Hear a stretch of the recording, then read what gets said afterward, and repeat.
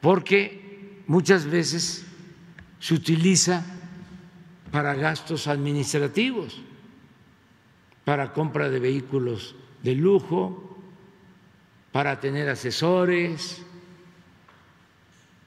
para tener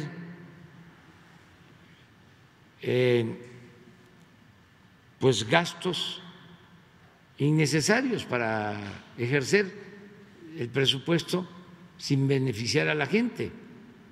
Entonces, todos tenemos que hacer un esfuerzo. Entonces, sí, el programa, pero no es saber, eh, mándennos más dinero.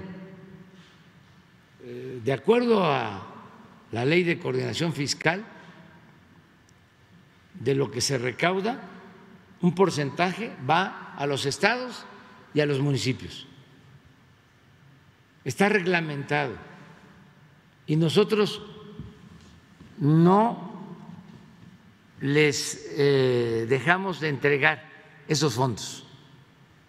Nunca.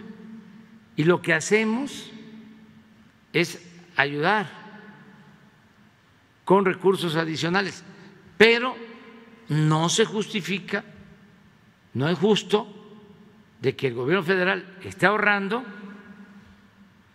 y que los gobiernos estatales, municipales estén en jauja. Me refiero gastando en cosas superfluas,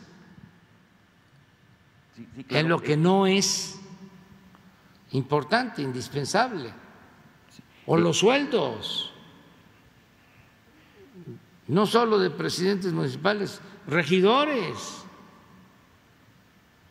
y viáticos y este otros gastos. Todos tenemos que hacer un esfuerzo. No puede haber gobierno rico con pueblo pobre. Eh, afortunadamente